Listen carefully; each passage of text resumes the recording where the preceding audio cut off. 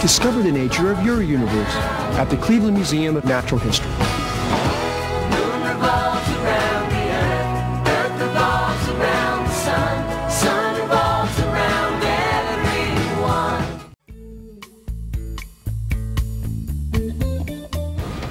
Even driving down his street is amazing. We're here tonight at Fire Food and Drink, one of my favorite restaurants in Cleveland. Chef owner Doug Katz uh, has created an extraordinary restaurant here. It's the winner of the Northern Ohio Live uh, Readers Poll for Best Restaurant, and it is going to be featured in Food and Wine magazine soon.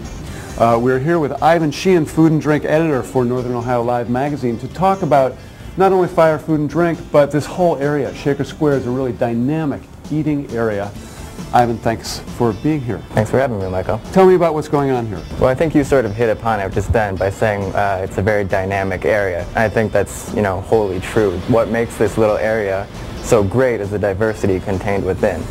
I mean, one afternoon you could come down here for sushi at Sasa, you could come here for Sunday brunch at Fire, you can go for Hungarian at Balaton, or you can pop over to Sergio's Saravá for some traditional Brazilian fare. One of the things that's important here is all these are independent restaurants. Sure. They're uh, all part of Cleveland Independents. You talk about Cleveland Independents. What exactly do you mean? Cleveland Independents is a group of locally owned and operated restaurants, uh, and it's their main group that kind of uh, houses them, handles a lot of their like marketing initiatives, and uh, just helps promote uh, supporting local restaurants, the smaller guys in town, you know, who generally tend to have the great food, but not so much of the marketing. It's really important to support local business.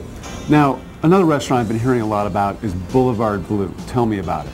It's down on Larchmere actually, which is you know really just a stone's throw from here. Mm -hmm. And uh, that was the restaurant that sort of kind of took Larchmere from sort of a kind of a bit of a downtrodden neighborhood, um, moved into this old space, created a very modern, appealing space, nice outdoor patio, you know, which literally brought people onto the streets, um, you know, eating, enjoying music. You know, that was one of their big things. They had like live jazz there. It's really amazing how a restaurant can transform an area of the city. Lola did that down in Tremont. Um, it's happening up here too. It's really fantastic. Aside from the younger guys, you know, like, like Balaton down here, the Hungarian restaurant, I mean, has been doing business since 1964. 1964? Which is, you know, quite a bit of time. And, uh, you know, I think a lot of good restaurants come and go, uh, you know, all the time because it is a really volatile industry. But I think the great ones, they sort of stand the test of time. Yeah.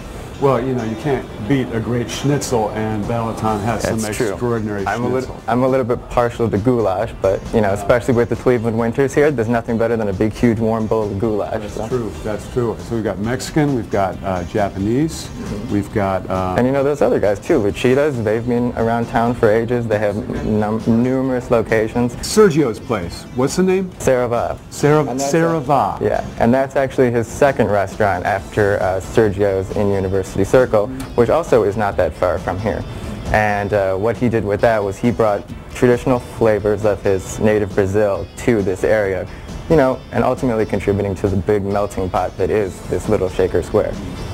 Um, that's fantastic. Ivan, um, thank you so much for joining us, and I urge you to um, keep your day job as a writer and uh, skip the bartending. I think I'll take your advice. Thank you.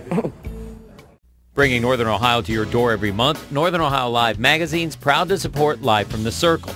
Dining, theater, basically all that's unique to our region can be found on northernohiolive.com. Arts, culture, and living. Northern Ohio Live